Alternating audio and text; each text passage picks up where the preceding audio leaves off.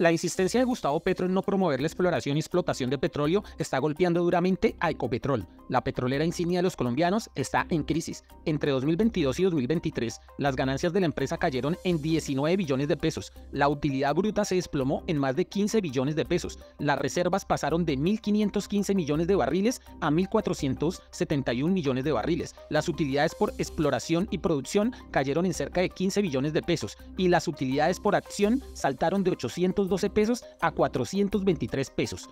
Hay factores internacionales y coyunturales que explican parcialmente estos resultados, pero sin duda las acciones y declaraciones de Gustavo Petro para detener la producción de petróleo han afectado a Ecopetrol, mientras, irónicamente, la producción de petróleo a nivel mundial crece y se expande porque hay una demanda también creciente.